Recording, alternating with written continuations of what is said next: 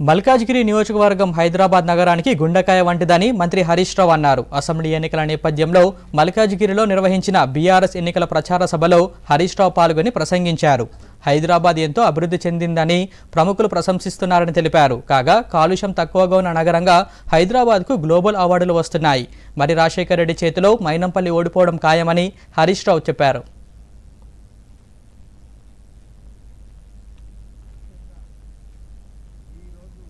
పార్టీలో చేరుతున్నటువంటి జీకే హనుమంతరావు గారు సోదరిమణి జీకే శ్రీదేవి గారు వారితో పాటు చేరుతున్నటువంటి మరి నాయకులకు కార్యకర్తలకు ఇక్కడికి విచ్చేసిన మీ అందరికీ పేరు పేరున నమస్కారం తెలియజేస్తా ఉన్నా. ఇలా శ్రీదేవి గారు హనుమంతన్న చేరిక ఇప్పటికే మా మీనా అద్భుతంగా పనిచేస్తా ఉంది. అందరూ కలిసి మా మదన్న కూడా ఇవాళ చేరిండు ఉద్యమకారుడు.